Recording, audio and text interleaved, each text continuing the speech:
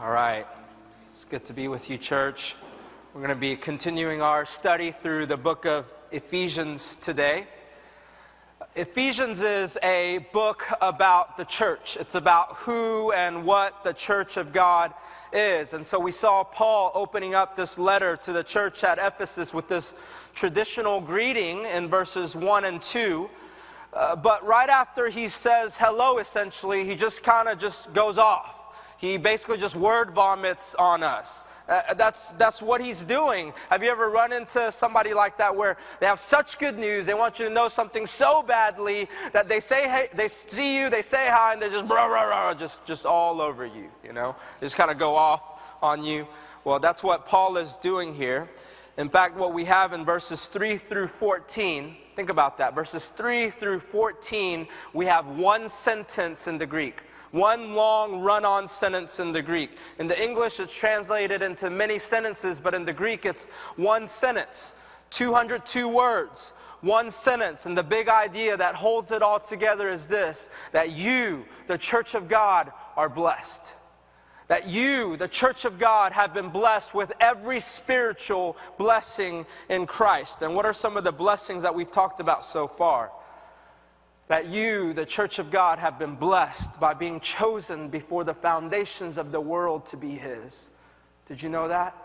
Even before you were born, before the foundations of the world, He knew you and He chose you. That you, the church of God, have been blessed by being made blameless and holy in His sight. Did you guys know that?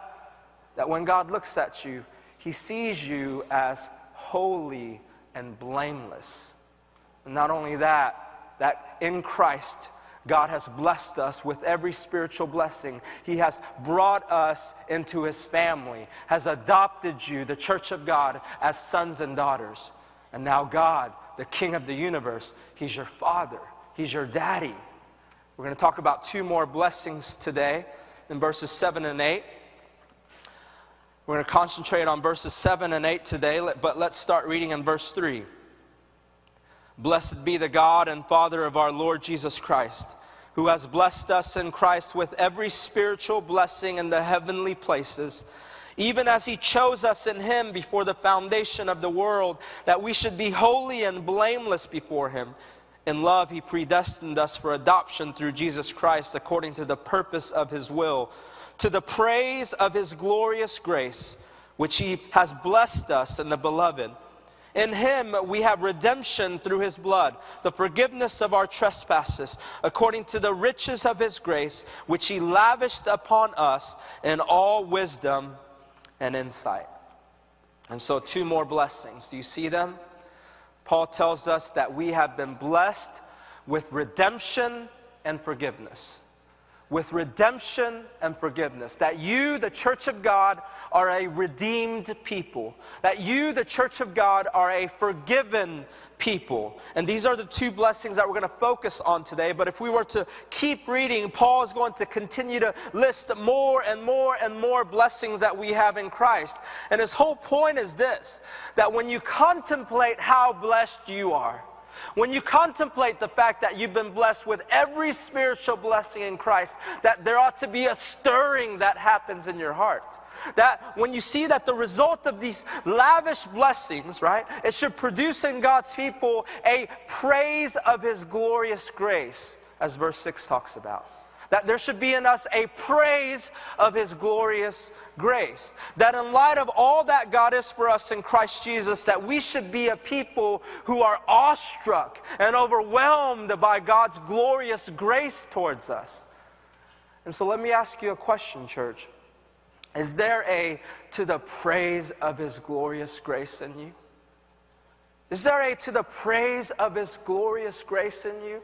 Are you awestruck? Do you marvel? Is there such a desire to worship Him for all the ways that He has blessed you in Christ? Is it in there? I think if many of us were honest today, I think the majority of us would say that we don't quite feel that. That we don't quite feel that that many of us in here legitimately we, we struggle to feel blessed by God, that we struggle to feel the desire to worship Him with our everything, every moment, every day of our lives. I think many of us, if we were asked how we feel about God's grace towards us, we would say that we're thankful, we would say that we're happy, we would say that we're gl- glad that God was gracious to us in this way, but there's not an amazement, there's not an astonishment, there's not a wonderment at what Jesus has done for us. I say that because I, I'm right there with you. I'm right there with you. And the question that I want us to ask today is why is that? Why isn't there a to the praise of His glorious grace inside of us? At least to the extent that there ought to be, right? I think one main reason, if not the greatest reason, as I thought about this for myself this week, is because we don't yet realize the depth of our own sinfulness. I don't yet realize the depth of my own sinfulness. We haven't yet truly realized the extent of our sinfulness. We haven't yet realized the extent of our rebellion, the extent of the deadness that we were in when God called us up when God raised us to life, the extent of the darkness that we were in when He called us out of that darkness and into His marvelous light. We don't yet realize it. I think the one primary reason that there is no to the praise of His glorious grace in us is because we just don't think we're that sinful. We just don't think we're that bad. Sure, I have some flaws. Sure, I sin, mess up, just like everyone else, but there are plenty more people a lot worse than me. And so, relatively speaking, I'm a pretty good person, and so are you. And we think of ourselves as pretty good people. And so when we hear that we've been redeemed, we think of ourselves as pretty good people. And so when we hear that we've been forgiven, we say, okay, God, thank you. But there's no amazement. There's no astonishment. There's no, oh my gosh, I can't believe it. Can you believe it's true? It's not in here. So, do you see the problem? Jesus said, if you've been forgiven much, you will love much. That if you've been forgiven much, you will love much. Or said in another way, you will only be able to worship to the extent that you realize how much you've been forgiven. You will only be able to worship to the extent that you realize how much you've been forgiven. But we don't think we've been forgiven all that much, and so our worship is little. So, do you see why understanding our sinfulness is so key? But still, we don't feel we're all that bad. But you can't measure how sinful you are simply by how you feel, because Jeremiah tells us the heart is deceitful above all things and desperately sick. Who can understand it? So you can't measure the level of your guilt. You can't measure the depth of your sinfulness by how bad you feel because the Bible tells us that our hearts are deceitful. It lies to us. And so we have to measure it by what the Bible says. What the Bible says. And what does the Bible say? Paul tells us that we were so sinful that we needed redemption that we were so sinful that we needed redemption. Well, redemption, what does that mean? The word redemption in the Greek is the word apolutron, which also means ransom. It means ransom. And so, when would you ever be in a position where a ransom has to be paid for you? Where would you ever be in a position where a ransom has to be paid for you? If you're in captivity, right? If you're in bondage, if you're in slavery, right? Paul is telling us that when it comes to our sin, we needed redemption. And so, what is he saying? He's saying that sin, it held you in captivity. Sin, it held you in bondage, it held you in slavery, and it refused to let you go unless a ransom was paid. So the Bible often uses this slavery language when talking about the depth of our sinfulness. But today we use the language of addiction and I think it's helpful because for a lot of us, idea of slavery is a foreign concept, but I think we could understand what addiction means to communicate the same concept. Addiction and slavery, in a lot of ways, they parallel each other. Okay? So think about this with me. Addiction is not just when you have a problem, but addiction is when the problem has you. Right? Addiction isn't simply when you have a problem, addiction is when the problem has you. Addiction is not just when you struggle here and there with drinking, but addiction is when the drinking has you. Addiction is not when you fail one night and look at pornography because your wife is out of town. Addiction is when the pornography has you. And when it comes to the depth of our sinfulness before Christ, before God saved us, the Bible is saying that sin isn't just something you had, sin is something that had you. Sin isn't just something that you had, it's something that had you. Sin isn't just something that you did every now and then and you needed help from. It's something that held you in captivity and it refused to let you go. You didn't have control over it, it had control over you. If sin was just something that you had, there, were, there would be things that we could do to unhave it.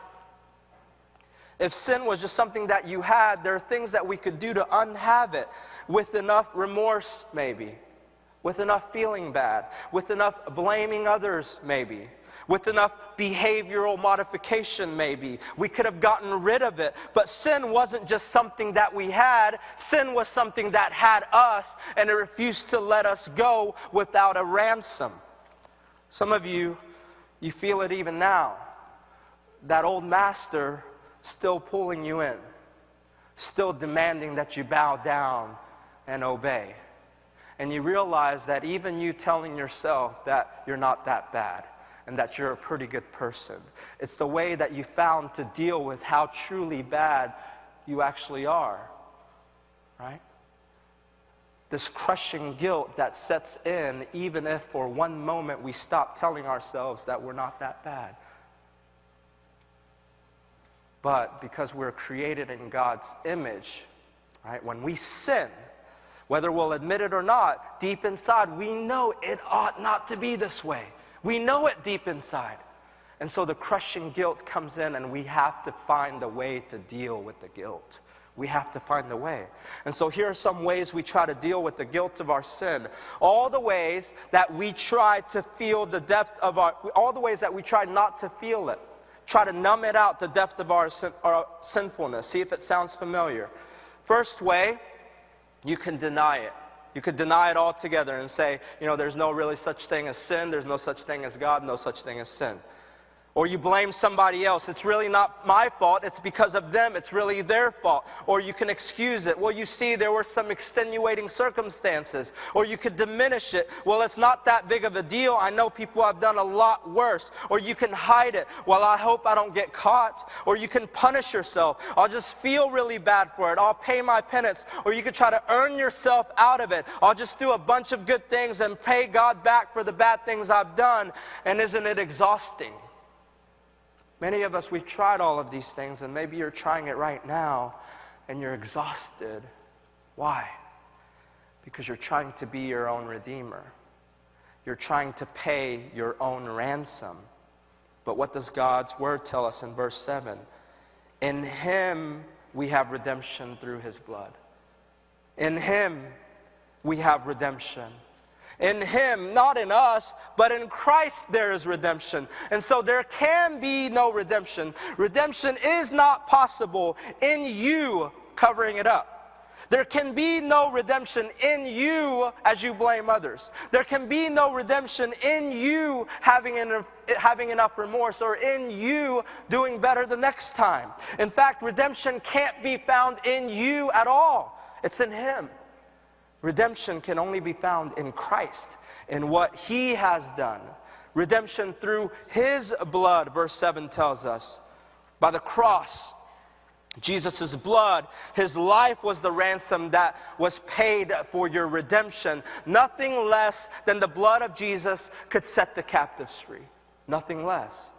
So, how do we deal with the depth of our own sinfulness? Well, in all kinds of ways, right? In all kinds of ways that at the end of the day fails us and makes us exhausted because we're trying to be our own Redeemer. But there is another way. The Bible tells us there is another way. You can be forgiven. The Bible says you can be forgiven. Ephesians 1 7. In him we have redemption through his blood the forgiveness of our trespasses. forgiveness. And forgiveness is another way that we can realize the depth of our sinfulness. You see, our need for redemption shows us the depth of our sinfulness. Our need to be purchased out of, ransomed out of the slavery and the addiction of sin. That sin isn't just a problem that we have, that we need, that we need help from, but that it holds us captive. That shows us the depth of our sins. But forgiveness is another way that we realize that the depth of our sinfulness. Well, how, how is that? What does forgiveness show us? Martyn Lloyd-Jones, a great British pastor theologian, once said that the problem of forgiveness was the greatest problem that God had ever faced. He said that with all reverence, the problem of forgiveness was the greatest problem that God had ever faced. And so, truly, with all reverence, understanding that nothing is impossible for God, that nothing is too difficult for Him, this is what He meant. Just think about with me some of the greatest, the biggest problems that God has ever faced in human history. Well, first one darkness, right? There's no light, nothing but darkness. That's, that's a problem. How did God deal with it? He simply said, Let there be light. And there was light. There were no plants, there was no vegetation. Well, it's not a big problem for me. I don't like vegetables all that much, but I, I, know there's a lot of kale lovers out there, okay? So it's a problem. How did God deal with it? He simply said, Let the earth sprout vegetation. And it was so. There were no animals. Now, that's a problem for me. that's a problem for me. I need, I need my hamburgers and steaks, you know. It's a problem. How did God deal with it? He simply said, Let the earth uh, give living creatures let the earth bring forth living creatures, and it was so. God looked down and he saw the loneliness of man. He looked down and he saw Adam, and the brother was struggling. And so, what did he do? He put him to sleep and took out one of his ribs and made woman. You see, that was just a creation account, but we could go on and on. And my point is this that, that with all of these problems that God faced, God just spoke, let there be. Or he took some quick little action and the problem was solved. But when it came to the problem of our sin, he couldn't just say, let there be forgiveness. He couldn't just do that. He couldn't just say, let there be forgiveness. Why not? The problem was too great the depth of sin ran too deep. And so God had to do the unthinkable. He had to do the unimaginable. He had to tell his son, the second person in the Trinity, that son, this problem is so big. And the ransom that needs to be paid is so great that you have to go to the cross. You have to die. Blood has to be shed. There is no other way. The cross of Jesus the blood of Jesus being the only possible solution for our sin problem shows us the depth of the problem, right? The greatness of the solution that's being offered shows us the greatness of the problem, right? Do you agree? God wasn't overreacting here, He was exacting here, doing exactly what was needed here. So, both our need for redemption and our need for forgiveness serve to show us the depth of our sinfulness. But when you see the lengths to which God has gone, when you realize how God had to lavish his son on us, how Jesus had to voluntarily be tormented and tortured and killed, all because forgiveness is a problem for him that's so great that it couldn't just be solved with the let there be. When you see that the problem was so big and the ransom to be paid was so unimaginable, the torturing, the death, and the blood of his own son, we might ask, then why did God go through with it? Why did God go through with it? I mean, it's good for us. We benefit from it. No complaints on our part. But why did God go through with it? It cost him so much. Why did he go through with it? Verse 7 tells us, and hopefully you'll start to feel that to the praise of his glorious grace start welling up in your heart. In him we have redemption through his blood, the forgiveness of our trespasses, according to the riches of his grace. So, why did God go through with it? Because of the riches of His grace. You see, because of the riches of His holiness, God demanded the payment for sin. But because of the riches of his grace, he provided the payment for sin. Because of the riches of his holiness, he demanded the payment for our sin. He couldn't just let it go. Sin had to be paid for. But because of the riches of his grace, he himself provided that payment. He's both, fully both, and he's expressing both.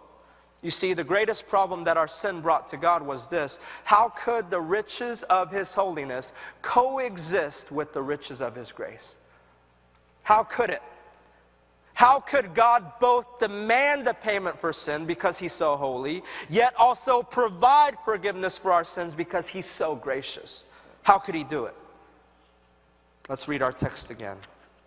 In Him we have redemption through His blood the forgiveness of our trespasses according to the riches of his grace, which he lavished upon us in all wisdom and insight. So, how did he do it? He did it with all wisdom and insight. He did it with all wisdom and insight. He planned the way. He determined the most wise way. He determined the most insightful way in which the holiness of God would not consume the sinfulness of his people. He has planned a way in which he could offer forgiveness to us. Salvation to us, redemption to us, in the wisest and the most insightful of, of ways. And what is that way of wisdom and insight? What is that way? It's the way of the cross. It's the way of the cross. As we look at the cross, what we're seeing is God's wisdom. As we look at the cross, what we're seeing is God's insight. There was no other way, there was no better way. This is it. It's the way of the cross, the cross in which we received redemption and forgiveness. Redemption and forgiveness. The thing that I don't want us to miss about redemption and forgiveness is this. I want us to see that redemption and forgiveness are two different things. Two different things, but they're inseparable. Redemption and forgiveness are two different things, but they're inseparable. In God's wisdom and insight, He saw that we needed both to be saved. And so Paul puts them right next to each other. He doesn't want redemption and forgiveness to be separated. In Him, we have redemption through His blood, the forgiveness of our trespasses. One breath, right? Put together. So, why is the inseparability of redemption and forgiveness so important? It's important because, again, in the depth of our own sinfulness, we desperately want to separate it. In the depth of our sinfulness, we desperately want to separate it. In our sinfulness, we want the forgiveness, but not the redemption. We want the forgiveness, but not the redemption. You have, you have sin in your life. It's making you miserable because you were created in God's image. And you're trying all kinds of ways to deal with your guilt, right? But all these ways that's failing you, you're just exhausted. But then you hear that God offers you forgiveness. And so you want that forgiveness because forgiveness means the lifting of the guilt. Forgiveness means you don't have to feel bad anymore. You can move on with your life trying to live your happy little life. And so you want the forgiveness. Forgiveness is good, but what about redemption? But what about redemption? Remember what redemption means? It means that a ransom was paid for you. It means that you were bought out of slavery.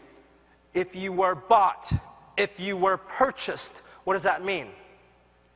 It means that you no longer belong to yourself.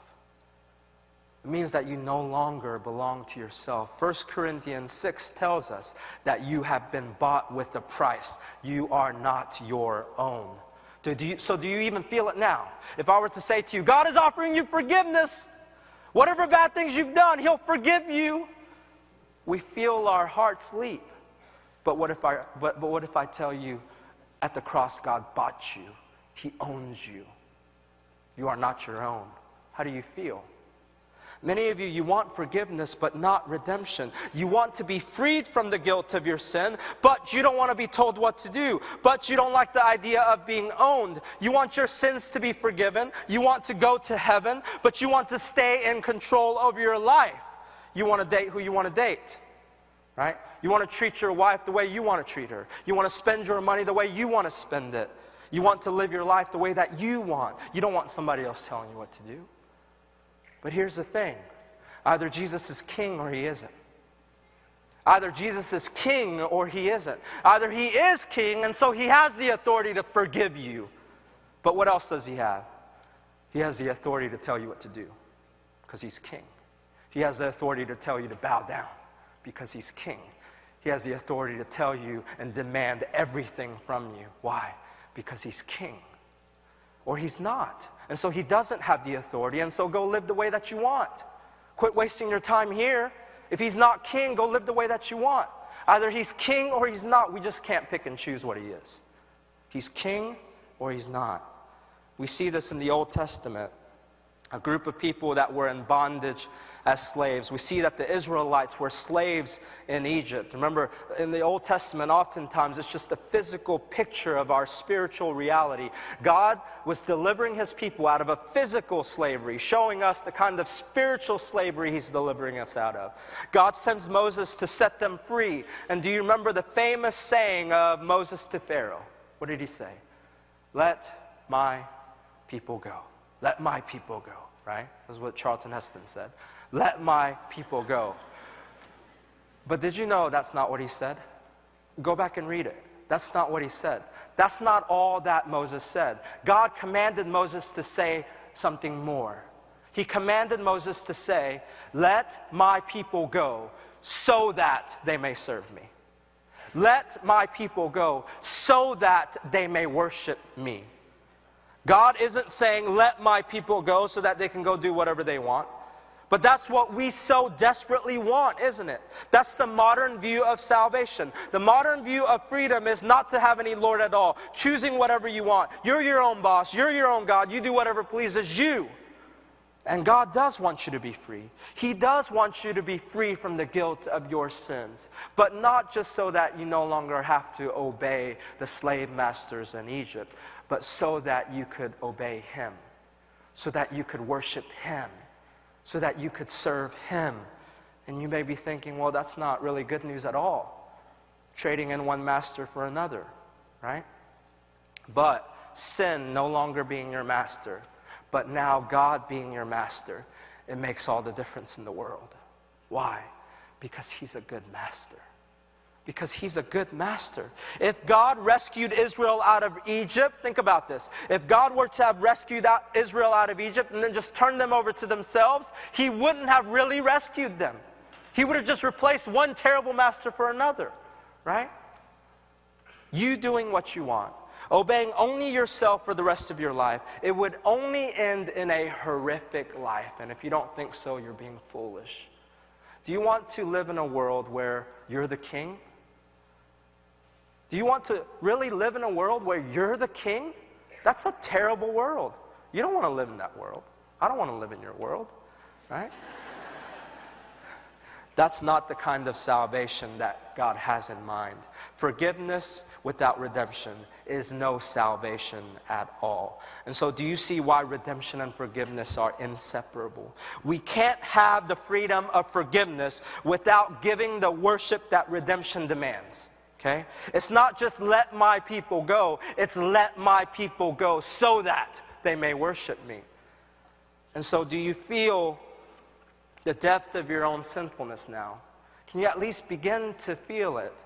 Our need for redemption, the fact that sin isn't just something that we need help from, it's something that held us captive right? The difficulty of forgiveness, that God couldn't just say, let there be forgiveness, but He had to send His Son, His very Son, to the cross for us. And our last ditch effort at staying in control by separating forgiveness from redemption. All of these serve to show us the very depth of our sinfulness. And why is the Bible so bent on showing us the depth of our sinfulness? Why does it talk about sin so much? Why do we have to preach about sin so much. Because do you remember the first day that you met Jesus? Do you remember that day when you first met Jesus? There was some sense of your sinfulness, right? There was some sense of your need for Him. There was some, some sense of your need for the cross, sense enough for you to cry out to Him God, I need your forgiveness. God, I need you to save me. And our wishful thinking at that time was that we would grow in Christ. We, we would learn to love Him in such a way that we would sin less and less and less. And so we would feel better about our sinfulness.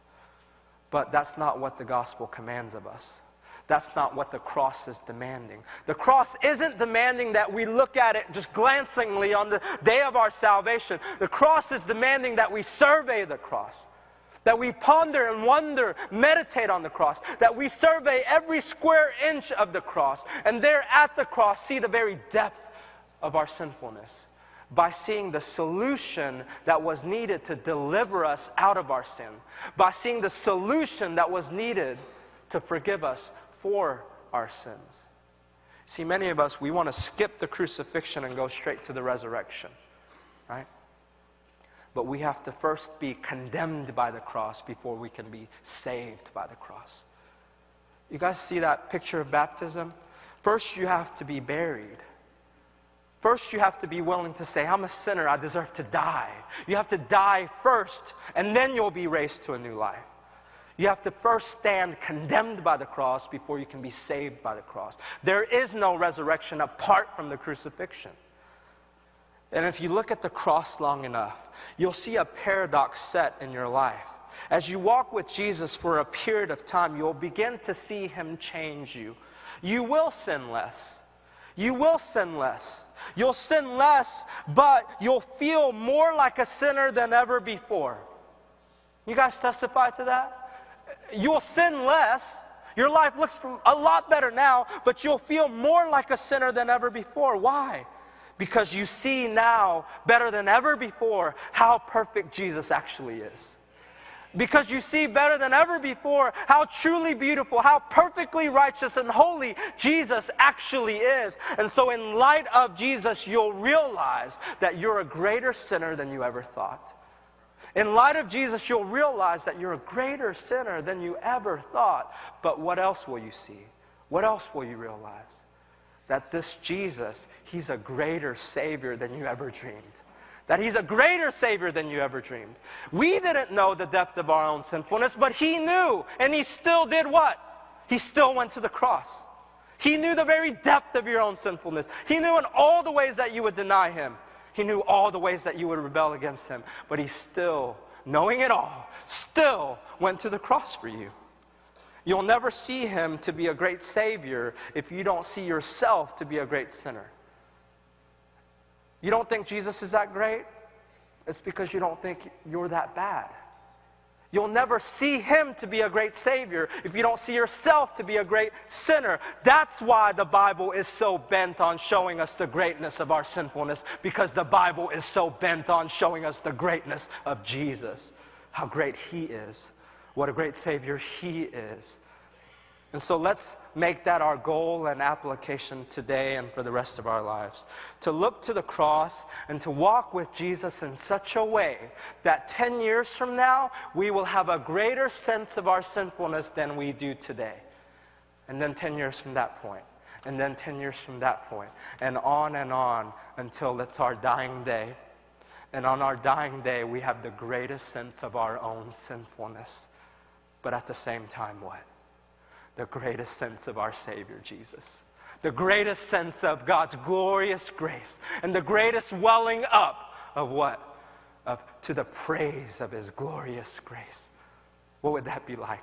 If on our dying day we would be able to offer Him the greatest praise, the greatest welling up, greatest worship for His glorious grace to us. Let's pray together.